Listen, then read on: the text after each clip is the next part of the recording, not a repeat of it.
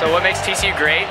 The atmosphere, just look, everyone's purpled out. It's great. What makes TCU great is Gary Patterson.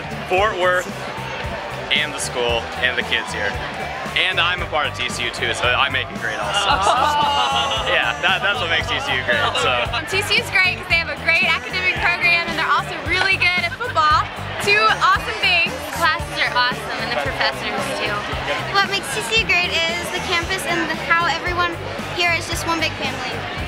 TCU is a great place and I honestly think the band makes it awesome. And I think one of the things that always made TCU a wonderful school was the tradition of football here. It was so cool to come as a little kid. And now I'm 57 and I love coming out here and going to these games. We're number four in the country, so I like the campus. The campus. I like the academic, I like sports. Made a lot of good friends